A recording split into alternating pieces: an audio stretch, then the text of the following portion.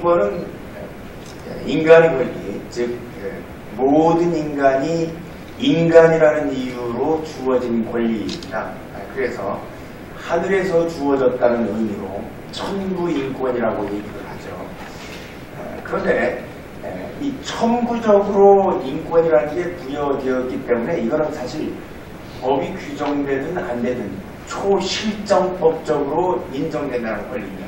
그래서 이 인권에는 다른 것과는 달리 독특한 이 인권으로 인정되려면 특성을 가지고 있습니다. 그 특성이 보편성, 도덕성, 근본성, 추월성, 우월성 이러한 다섯 가지 특징들을 가지게 되는데 이런 인권의 기본적으로 가져야 되는 특성 때문에 논의되는 권리가 과연 인권의 범주에 들어갈 것인지 안 들어갈 것인지를 굉장히 정확하게 판단할 이 근거가 되게 됩니다.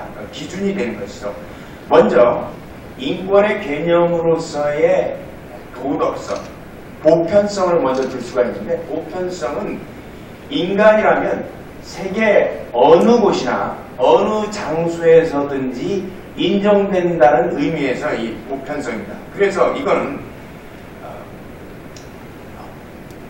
개인, 개인적으로 그리고 집단적으로 사회적으로 그리고 국가적으로 즉 대, 대인적인 권리가 될 수 있고요. 그리고 대사회성 그리고 대국가적인 권리가 된다는 이런 의미가 됩니다.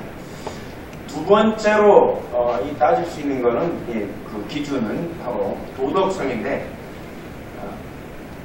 아까 이진 교수님이나 이성원 교수님께서 이 도덕성과 관련된 부분은 굉장히 아주 상세하게 이렇게 나 누어 주신 것 같습니다. 이 인권의 도덕성은 이 인권이 단순히 법적인 권리가 아니라 이 도덕적인 권리를 의미합니다. 그래서 특정한 시대와 공간을 이게 뛰어넘습니다. 단순히 특정한 시대의 특정한 지역적의 지역적으로 제한된 권리는 인권이 아니게 된 것입니다.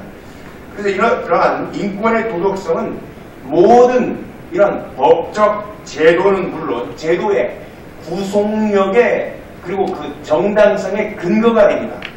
그래서 이 구속력과 정당성의 근거를 제공하는 것이 바로 이 도덕성이기 때문에 아, 이런 제도에 또한 흠결까지 보완하는 기능을 하게 되죠. 그래서 도덕성이 없는 법적 제도는 아, 어떤 권리는 바로 이 정당성을 결여하게 되는 것이죠.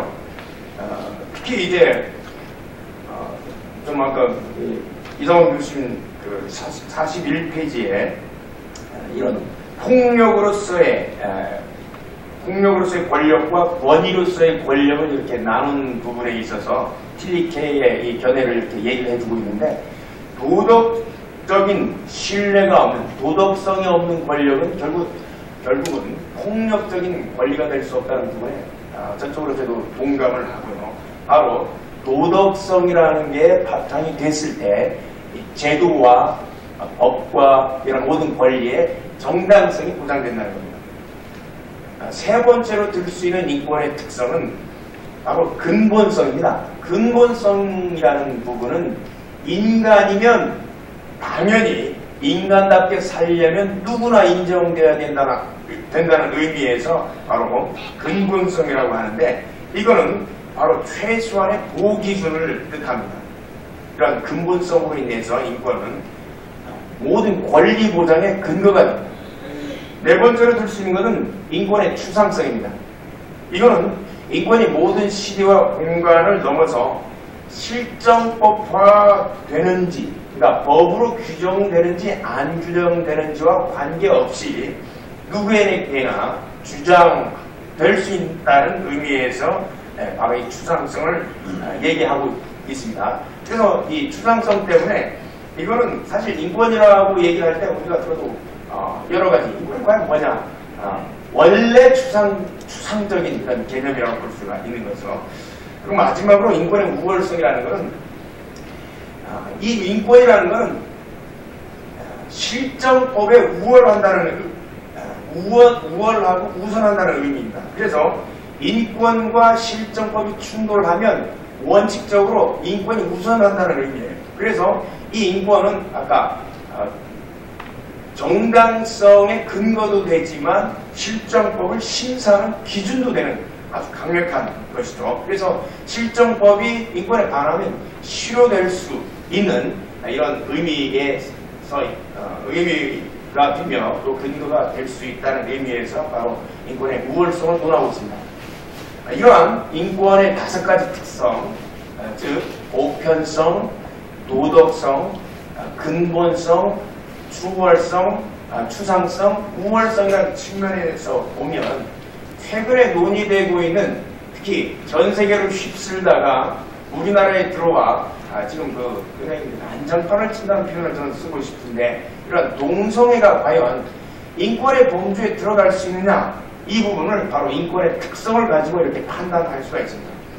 먼저 도덕성이라는 측면에서 살펴보면 이 동성애나 동성 결혼이 인권성을 인정받기에는 굉장히 무리가 따릅니다. 어, 왜냐하면 우리나라 헌법재판소 그리고 대법원에서 아, 각각 이 동성애 성행위에 대해서 판단을 한 바가 있습니다. 이렇게 판단을 했습니다. 네. 동성애 성행위는 객관적으로 일반인에게 혐오감을 주며 건전한 성적 도덕관념에 반하는 성적 만족, 만족행위로서 부도덕한 성행위다. 아, 그런데 많은 동성애자들 그리고 동성애 옹호론자들은 동성애를 반대하면 혐오한다고 해요. 그러나 우리나라의 최고의 사법기관은 객관적으로 일반인에게 혐오감을 주는 행위가 그 사람들이 행하는 동성애 성행위라는 거예요. 그리고 건전한 성적 도덕 관념에 반하는 부도덕한 행위라고 이미 세 번이나 이렇게 판단을 한 바가 있습니다. 그리고 도덕성을 결여하는 권리가 인권의 특성에서 어, 보면 인권이 될 수 없는 것은 당연한 것이고 궁극적으로 이러한 동성애를 강요하려고 해서 만들어지려고 하는 것이 차별금지법 영역인데 아, 이런 부분이 국가가 다수결로 다수결로 헌법을 개정하든 차별금지법을 제정하더라도 이거를 인권의 범죄에 넣으면 바로 아, 지리기가 얘기했던 폭력적 권력이 될 수밖에 없는 겁니다. 그리고 더욱이 인권의 근본성에 비추어 볼 때 근본성이라는 것은 인간이면 누구나 인간으로서 인정되는 권리라고 할 때 222여 개 국가 중에서 이를 어, 이성애를 대체하는 권리로 이걸 인정한 국가가 아무도 어, 거의 없어요. 21개 국가가 그것도 선진국 국가는 겨우 동성결혼을 인정하고 있지만 이런 인간의 근본적이고 필수적인 권리라는 측면에 있어서도 아, 동성애는 인권의 범죄에 넣을 수가 없는 거죠. 그리고 우월성이라는 부분에 있어서 도덕적으로 도덕성이 결여된 권리를 가지고 도덕성이 인정되는 생명권이라든가 그리고 종교의 자유라든가 양심의 자유를 판단하는 그걸 무너뜨리는 우월성을 인정하는 권리로 동성애를 본다는 건 어불성설이라고 보여지는 거죠. 결국 어, 말씀을 마치겠는데 동성애는 바로 이런 보편성이라든가 도덕성이라든가 우월성이라는 이런 세 가지 기준만 가지고 보더라도 결국 네, 인권의 특성을 전혀 가지고 있지 못하는 아, 자신들의 성적 만족을 위한 육적인 권리예요.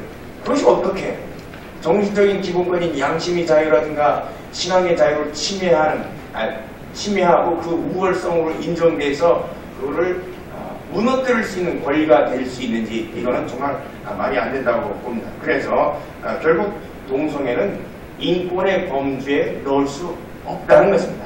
마치겠습니다.